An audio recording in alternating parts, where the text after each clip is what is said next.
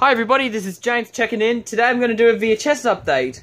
And you know today is Anthony's birthday, the Blue Wiggle Anthony, so happy birthday to him. Anyways, let's get started with the VHS. This VHS is the Devil's Own 1998 VHS. It's the front, spine, profile picture of Harrison Ford and Brad Pitt, and the back. Here's the video.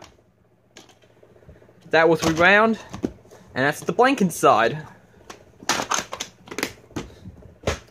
That's it, I gotta go. Peace out.